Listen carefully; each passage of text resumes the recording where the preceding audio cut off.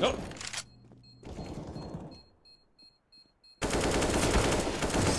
Yeah, this guy might know Holy. Guacamole, dude. Bro, you said holy guacamole.